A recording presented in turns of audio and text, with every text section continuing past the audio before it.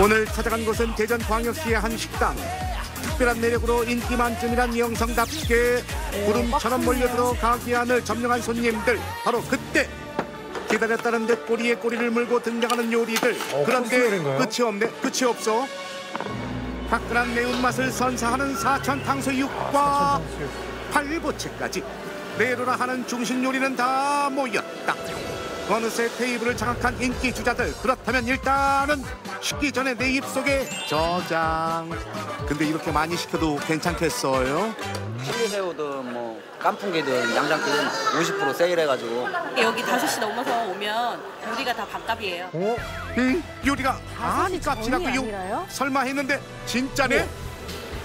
그러니까 최소 2만 원인 이 요리들을 만 원대로 즐길 수 있다는 사실.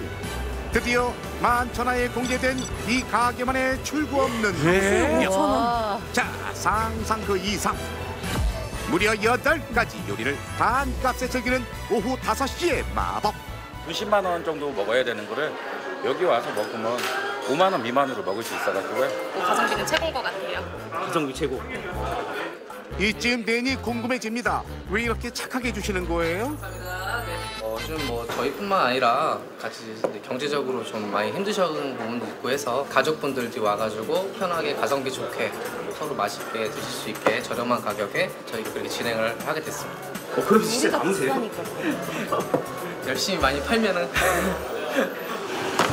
저렴한 가격에 맛까지 좋아 하루가 다르게 주문량 다 폭주 맛있는 거예요. 그중 단연 1인자로 굴릴만한 요리가 있었으니 그건 바로 그러니까 이게 뭐예요? 중식계의 대들보 탕수육인데요 탕수육인데 색이 좀 특이해요.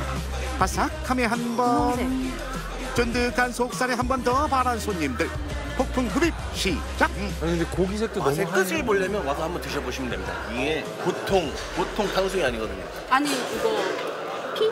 뭐지? 탕수육 튀김? 콩 같은 그런 맛?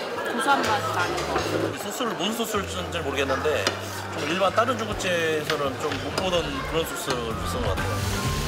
그러고 보니 눈송이 오, 같은 튀김과 그 위에 새초롬하게 내려앉은 분홍빛 소스까지 우리가 알던 그런 탕수육이 아니다 이 탕수육의 비밀을 찾았어 무작정 주방으로 돌진 그런데 주방 직원들의 삼엄한 방어를 뚫고 포착한 것은 탕수육 소스 제조 현장 어 근데 저, 저 어디서 무슨 냄새 안 나나요? 이거 그래, 그래, 비법 이거예요, 냄새 이거. 이게 뭐죠? 내 눈으로 지켜보던 그때 산더미처럼 쌓인 과일 등장 아니 소스 하나에 이 많은 게 다 들어가는 거예요?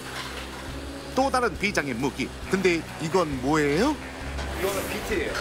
비트? 예, 비트요. 색깔 면에서도 그렇고 인위적인 단맛을 내지 않기 위해서 최대한 과일을 많이 쓰고 있어요.